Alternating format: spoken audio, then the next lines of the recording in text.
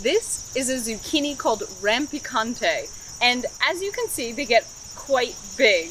But this isn't even the biggest I've grown in my garden this year. I'm about to harvest that one right now. Come on.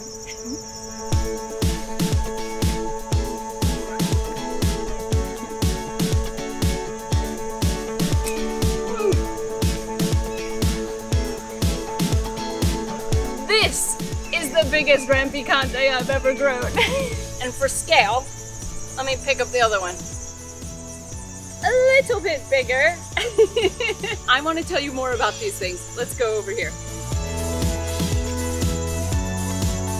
So as you can see, this is quite a bit different from the classic dark-skinned zucchini you're probably used to. That zucchini has a much thinner skin than this, which is much more in the sort of squash camp.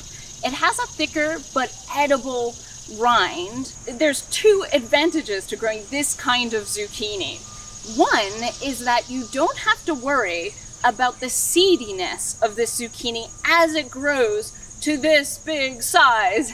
You know, the dark zucchini, right? We, we're always worried that if we let them get too big, they become really spongy in the middle and very seedy. Well, this entire neck is seedless. All the seeds are down at this bulbous bit. So if you wanted, you could just cut this part off and then have all of this to eat.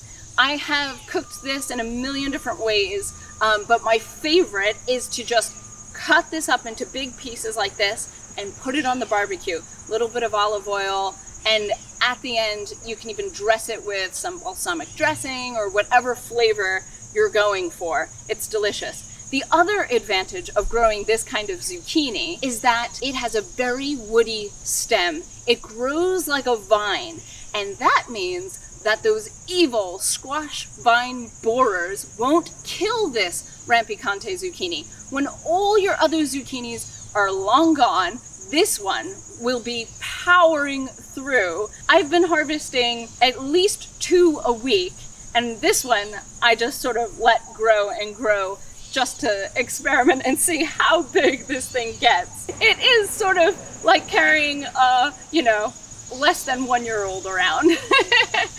anyway, Rampicante, such a fun variety to grow.